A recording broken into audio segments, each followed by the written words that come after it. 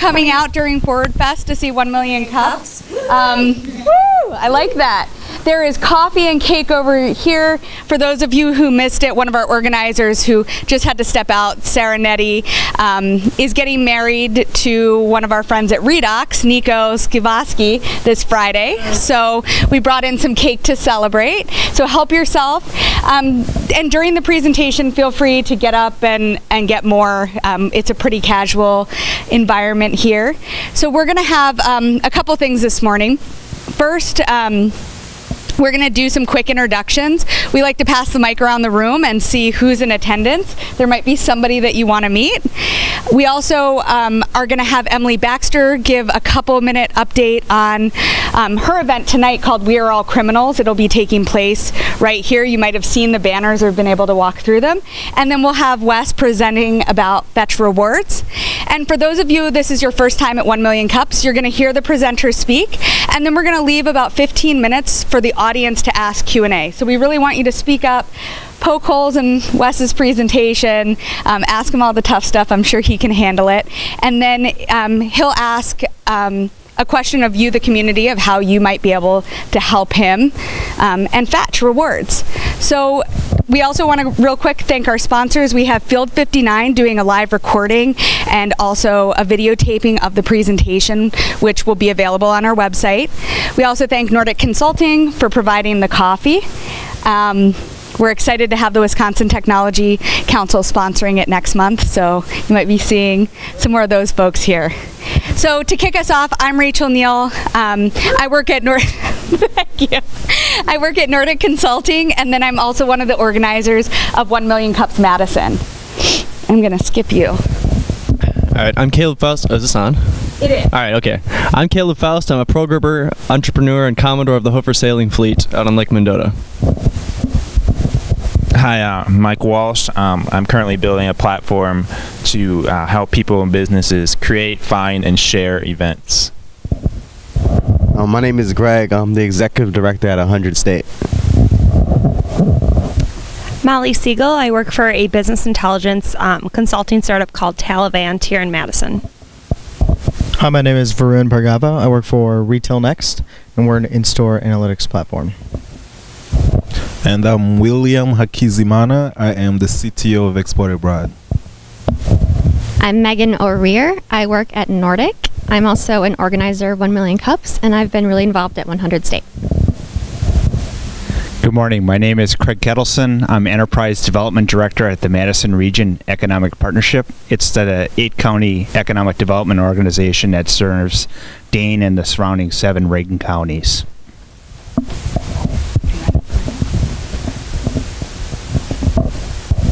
Hi, my name is Nicole Justa, and I am also in economic development for Northern Wisconsin. I'm Drew Corson. I'm an attorney at Neider and Boucher. I'm Ian. I'm a junior at the UW, and I'm part of an organization called ISEC that brings the world together through cultural exchange. Hi, I'm Steve, uh, co-founder of 32 Auctions, which is a platform for hosting and managing silent auction fundraisers. I'm Amy Clymer of Clymer Consulting, and I work with teams and organizations to help them be more innovative.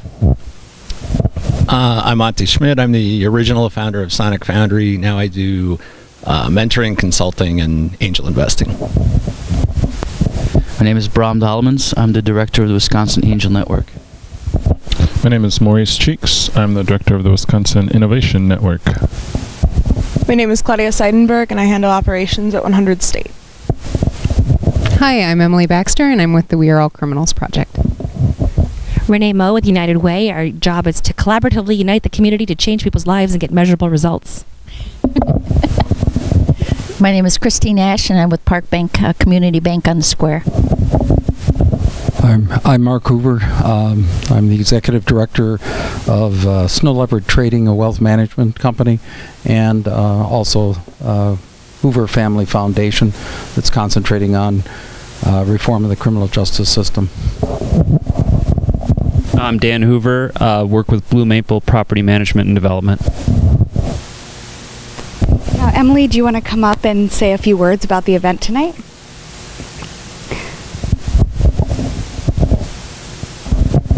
Uh, so the event will take place next door uh, at 5 o'clock tonight. I hope that you're all able to come. I'll be talking about my project called We Are All Criminals.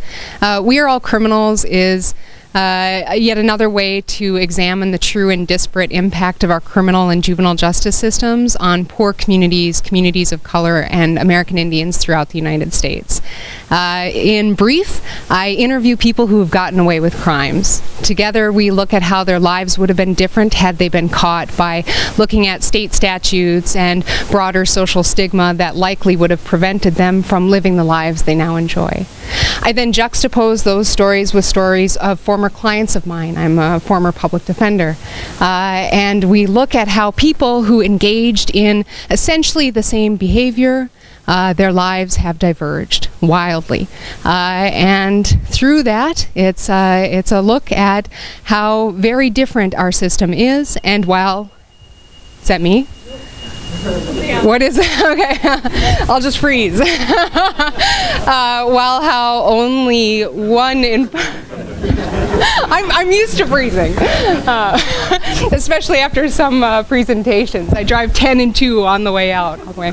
Um, while only, only one in four of us, a quarter of the U.S. population, in fact, it might be much more than that, has a criminal record. I posit that all of us, four out of four of us, have committed crimes, uh, and yet three out of four of us, 75% of us, have had the luxury to forget those, the luxury to reinvent ourselves, to be introduced as fellows rather than as felons. So I'll talk about all of that and more tonight, and I hope that you're able to come. Thank you so much, Emily. All right, Wes, I'm going to turn I got it over to you. right. Oh, you're right. Kind of waved down my shirt, but I'm good to go. Awesome. That sounds great. Looking forward to that. That's so cool. Um, so everyone, I'm Wes Schroll. I'm with Fetch Rewards. Um, I was the founder and CEO of the company.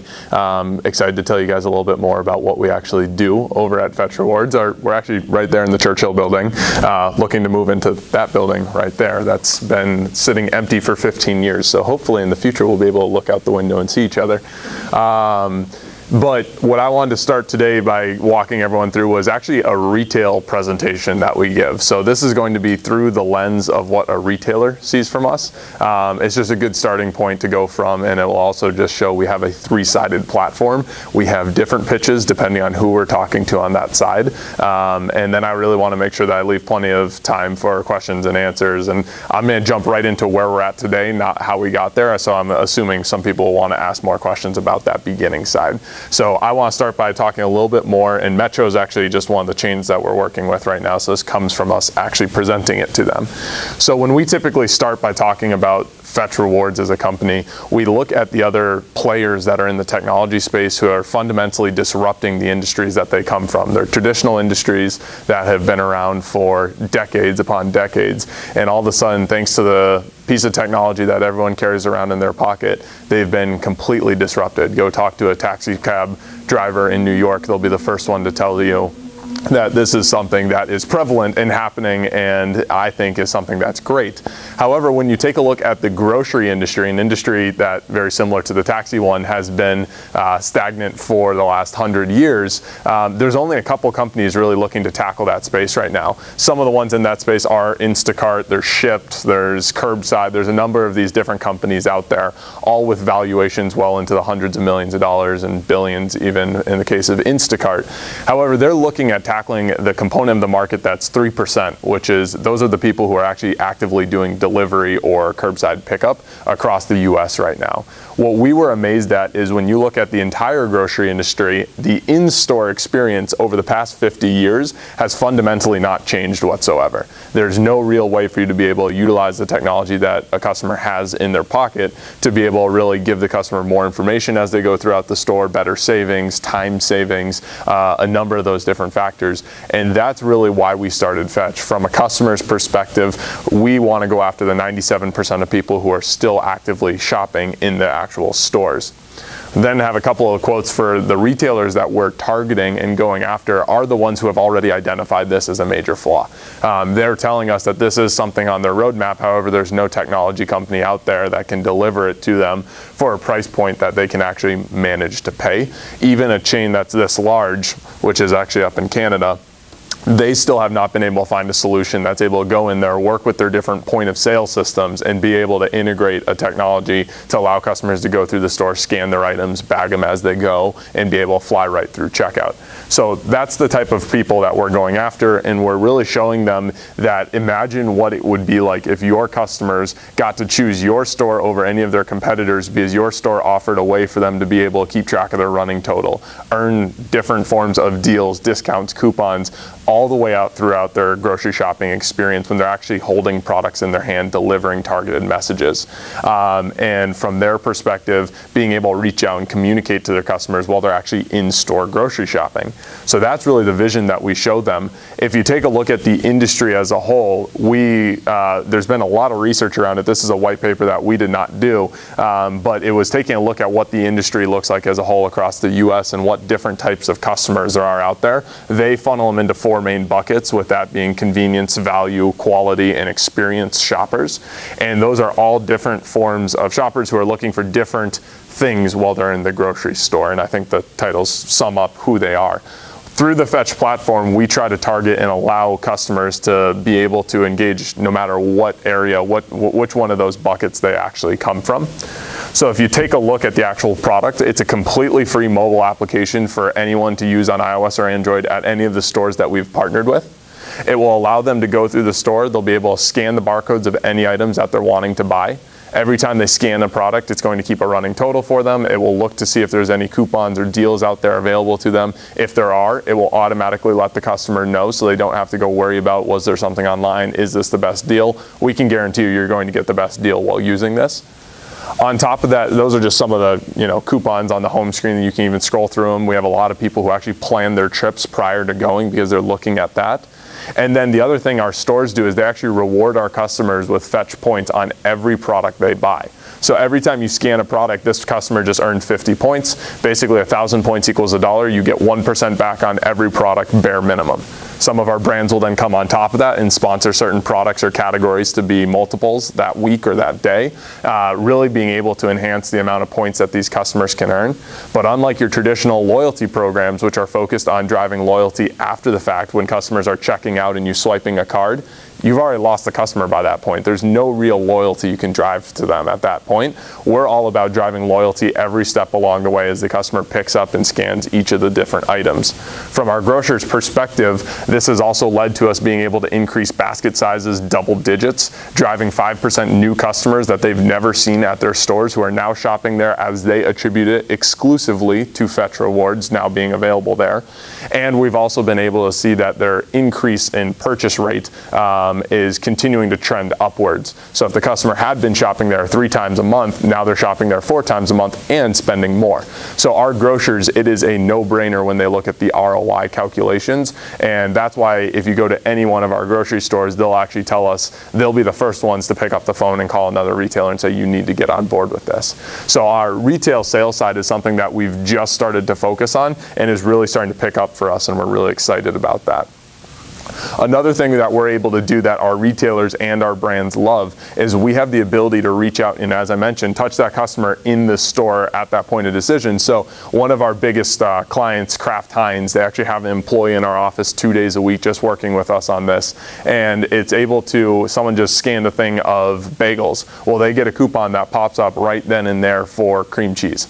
And you're actually targeting that customer when you know that they're holding something and their mindset is going to be open to actually receiving something like that. So it's been a really powerful tool. Grocers use it all the time to be able to increase their basket sizes. There's all kinds of produce that they have to throw away at the end of the day, even though it's still very good. They just don't want to risk it start to go bad. So they can start doing flash sales through this as well so that the customers on our end, if you're planning on eating a meal that night, you could get a filet mignon for half price. And it's just because even though it's going to still be good, it's just they would normally pull it three days in advance of its expiration date. So for our customers, we can drive them great real-time deals. For our stores, that's saving them huge amounts of waste, which for us is really important. One of the areas that we're working on moving towards as well is for our quality shoppers so that in the future with the Fetch application, you're going to be able to go in there and input your different preferences. You might be gluten free so that if you scan any product with gluten in it, without you ever having to look at the box, it will let you know real time. one of the biggest problems for consumer packaged goods companies is the box is the box no matter who's holding it. That's really unfortunate because depending on who the person is holding it, there's different information that they care about that is on that box. What this allows the brands to do is target that information to the customer, make the grocery stores start to be more dynamic and adjust to that customer as a person. So as our customers go throughout the store, the store of the future is going to start changing itself depending on who you are. You might have just scanned lettuce, you get over to one of our way stations, it's playing a, a commercial for a new recipe that you might want to try. And it's going to know that that will include three of the items you already have in your cart. So the whole thing that we're trying to do is make it so the shopping experience is actually catered to you and that grocery stores are changing as you go through the shopping experience, not the other way around. One other things that our retailers and brands love to do is they love to get the feedback from their customers real time in store. So they're able to deliver them messages and give free fetch points just for co collecting that insights. And we don't have panel data by any means. We have authentic grocery shoppers who are shopping using this program because they love it. And we'll have at any of our stores anywhere from 8 all the way north of 25% of all their revenue going through the fetch application on any given week. So they're actually capturing large portions of grocery shoppers that they otherwise never have have seen before. And now they're able to reach out and communicate with that customer and again, refine the message that they want to deliver to people like that in the future. Finally, when the customer is actually ready to check out, they have all their items scanned, ready to go. There is a black box that we have developed and put a patent around that actually allows us to integrate with any of the different point of sale systems that are in the industry. For anyone who knows grocery, that's a really tough challenge because there are hundreds of different types and versions of point of sale systems.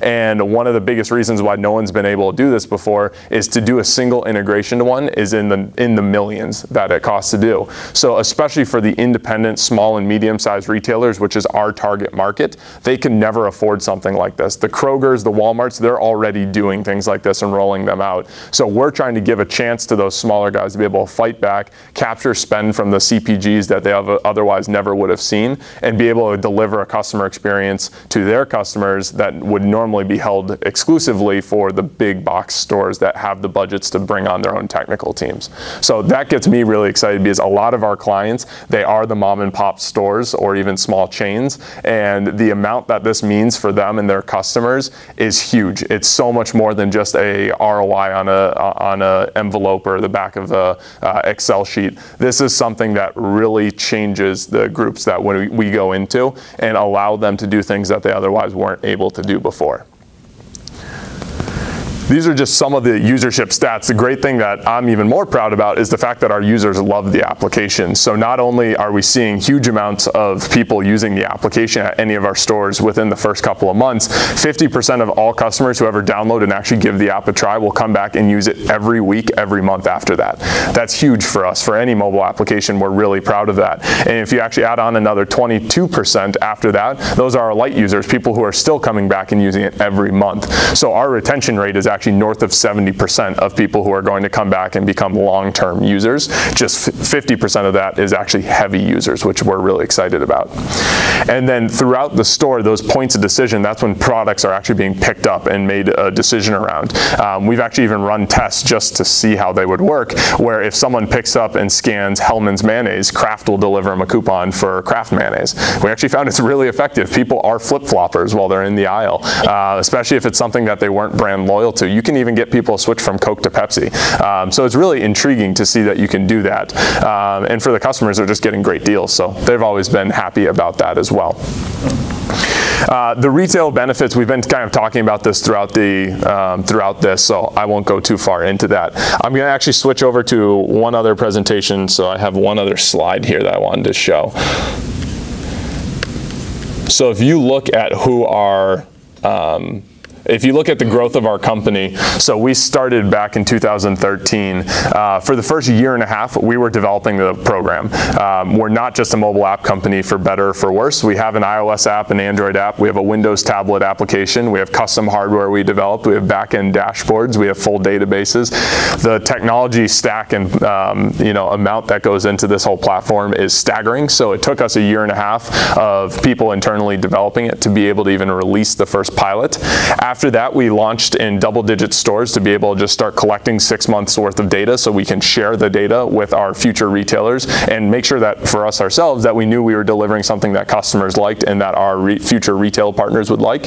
And after that, only in the past couple of months, we've shifted over to having more of a sales focus uh, with our first sales guy actually joining a little over three months ago. Obviously the first month getting up to speed since he had never seen grocery before, but since then we've been able to quadruple the number of stores that we've ever had signed. Um, so you'll have Metcalfe's coming online, you'll have Miller and Sons coming online, Piggly Wiggly Waunakee, Fresh Madison Market, Cap Center, all those stores will be coming online within the next couple of months because they're already signed.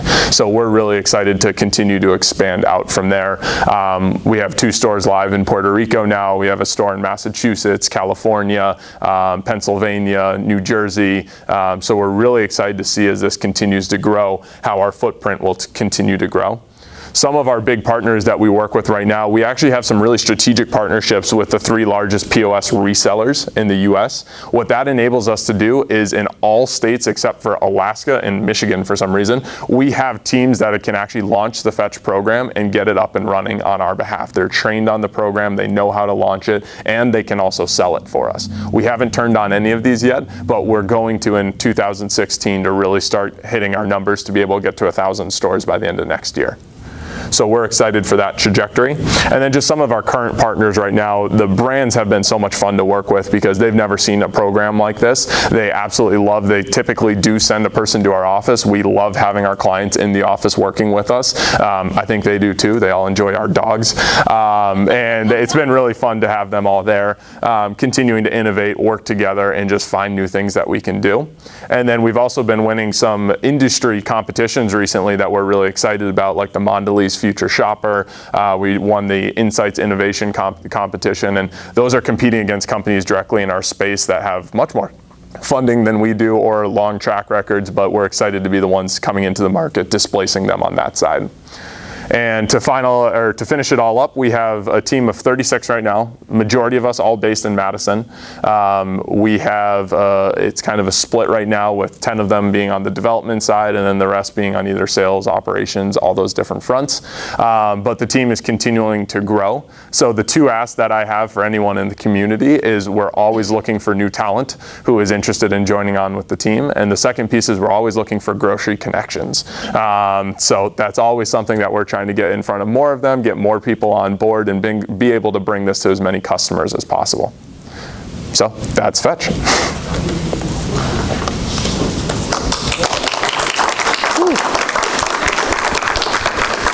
for the presentation. Now is a time if you want to ask a question um, about anything. So please raise your hand if you'd like to ask a question. So sorry if I missed it. Um, are you guys from UW Madison or why based in Madison? Of course, Madison's awesome, but um, so it actually goes back well before the company was even started. So I grew up in Massachusetts. I came out to go to school here at UW. And um, when we came up with the idea, it made sense for us to just start it here. We always had milestones set in place. By the end of our, you know, by the end of my sophomore year, we said we need to go into to business plan competitions. We need to win X. If we win X, we'll stay here we ended up beating that number, so we stayed here for that summer. And then we said, okay, well, we need to go to the angel community. If we can raise, you know, a quarter million this summer, then we'll stay here able to do that. So every time we've had these milestones set for us, and it could it doesn't even always be financial. It could be if we can find the top talent technical team that we need here, then we'll stay here. So we've constantly been challenging ourselves on should we be looking to relocate, but so far we've been able to find what we need here. Um, to be honest, it's all it's always available. If you have the right idea, the right people behind it, you'll be able to find a lot of those resources. It's just do you have the persistence to go out there and get them? Things that we're not naive to think things will be so much better on the east or west coast because there's just more competition out there. Um, and a lot of our retailers and brands really like the fact that we're based in the Midwest because a lot of of them are based in the Midwest as well. Yeah. And they're not getting hit left and right with Silicon Valley companies coming out and saying, "Oh, we have the newest, best idea for an app," and then they go out of business two weeks later. so, so we do have that going for us as well. Cool, thank you. Uh, that's so cool. That's I just had never even heard of that before. So thank you.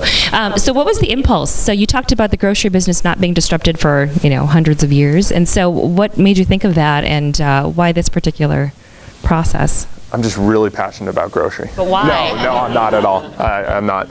Um, so I actually went from my freshman year into my sophomore year, and I moved out of dorms into an apartment. So for the first time ever, I was grocery shopping, um, and it was as simple as that. I was trying to go to as many different grocery stores as I could, mostly because I was just really inconsistent, I guess. I just wanted to see what type of store I wanted to go to. So I'd go to Walmart, Metcalfe's, Trader Joe's, all the different stores. And no matter what store it was, they saw all had the same fundamental pain points, in my opinion at least. Um, and I started talking with a lot of people about that. And once you brought it up to them, it was things that they had just gotten used to. They just assumed why it's ridiculous that you don't know what your running total is. No matter where you're shopping online, you know what your running total is, and you can control that. So when you ask people who are walking around the grocery store with their phone out using a calculator, you're saying, "Eh, why are you okay with that? Why is this something that you're willing to do? And I think a lot of people have become numb to it. Um, so we just challenged on that side and continued to, the idea when it first started looked 100% different than where it is now, but we learned through just talking with customers, talking with retailers, um, taking our own inputs and shopping a lot. Um, so that's kind of where it came from. And for us, we just really like solving challenging problems, and this was a really challenging one in an industry that would be tough as well. So we figured, well, let's give it a shot. So has your initial data shown a meaningful difference in the time it takes to complete a shopping experience between traditional pull it off the shelves and scan it versus scan each item and So to be honest, there's really no difference in terms of our checkout's slightly faster, but you spend a little bit more time in store scanning products. One of the things we're working to roll out is now that we've watched our customers and we're able to have the data on them. Let's say you've used the app 10 times, you've spent $1,000, um, and we have a security check that happens at the checkout. You've never had a missed item either, which means you've never you've never slipped anything in there, you've never missed a scan. Well, you might become a platinum user, which means nothing changes for how the cashier interacts with you except there's no security scan anymore. You go right out of there. They just randomly audit every couple of times.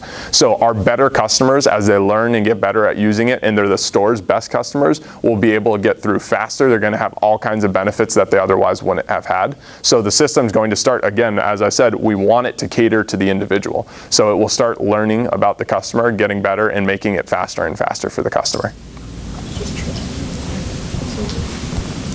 What, what is the devil's advocate uh, pushback that you get from stores as you're trying to enter more?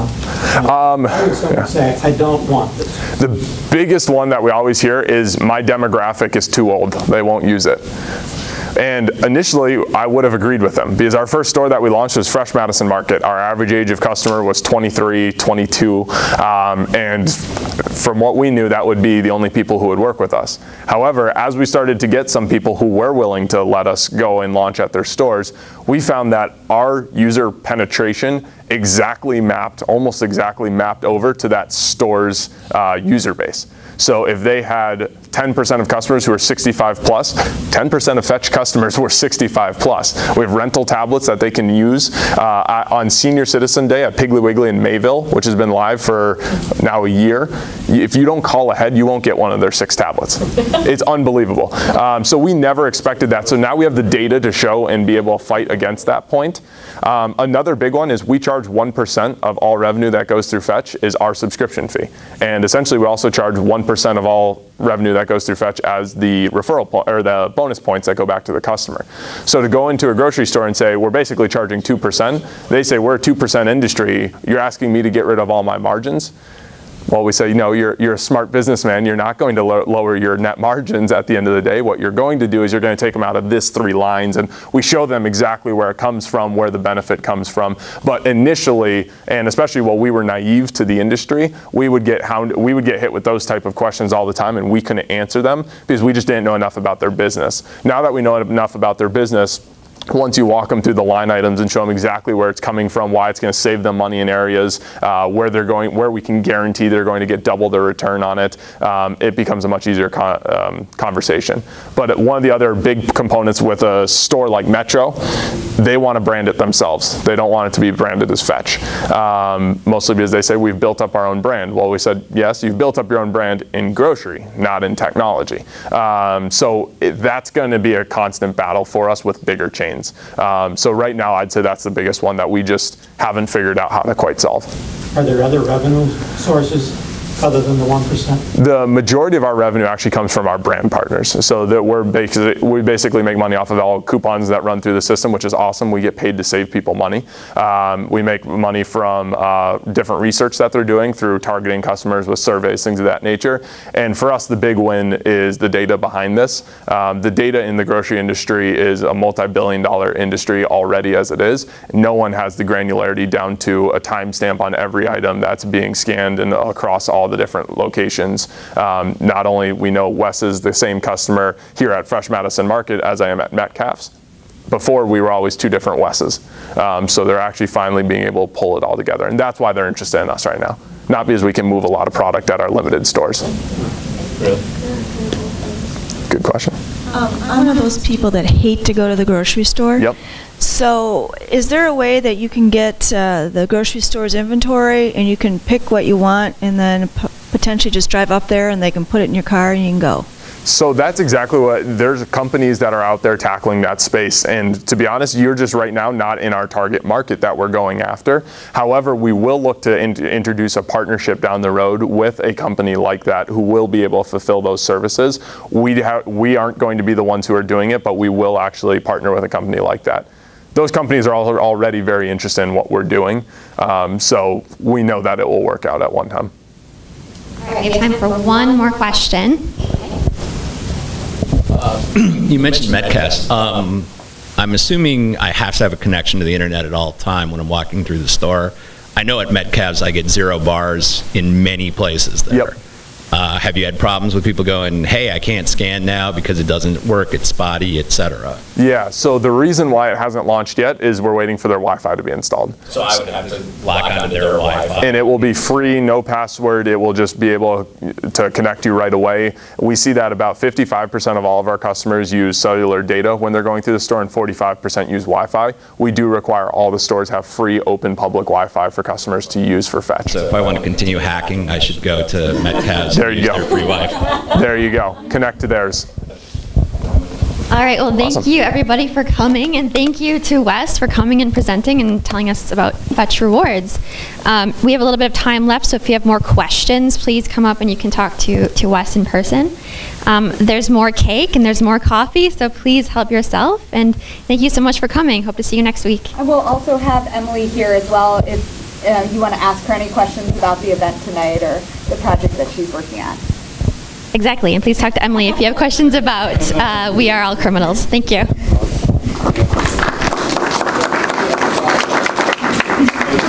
Thank you.